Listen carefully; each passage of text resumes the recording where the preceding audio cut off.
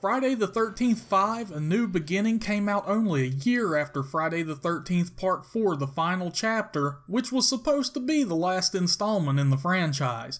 Wow, didn't take them long to change their mind now, did it? Either way, let's check out some things you didn't know about the movie.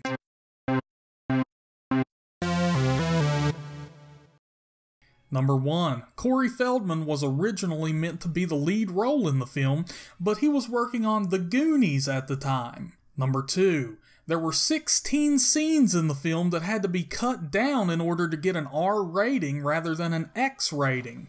By the time it was all said and done, the film was submitted to the MPAA nine times before it was able to get an R. Number 3. Two of the actors in the film would work together on another film that same year. The two actors was Mark Venturini and Miguel A. Nunez. The movie was Return of the Living Dead. What do you think this is all about? You think this is a fucking costume? This is a way of life. Number 4. Like many films in the franchise, this one went by a working title in order to keep the story a secret.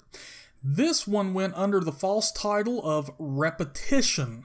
Some actors were able to guess that this was another Friday the 13th film, while some had no idea until they showed up for shooting and saw Tom Morga walking around on set dressed up as Jason Voorhees. Number 5. Deborah Voorhees' sex scene was originally going to be over 3 minutes long and much more intense. This was obviously cut way down so the film could get its R rating. Number 6. Speaking of Deborah Voorhees, she went on to be a school teacher after working on the movie. Unfortunately, some of her students have found out about her sex scene in the film. So far, this has cost her two teaching jobs at two different high schools. Number 7. With the character of Tommy Jarvis being mentally unstable in the film, actor John Shepherd wanted to do some research for the role, so he worked at a state mental hospital to gain some insight. Number 8. The ending of the film was never meant to be a dream sequence.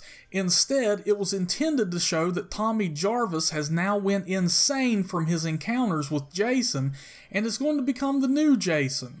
Hence the title, A New Beginning.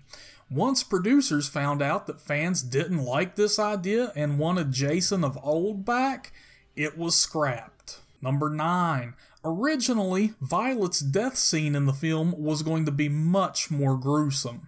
First, Jason would come into her room and discover Violet working out, instead of busting out those sweet dance moves we've all come to know and love.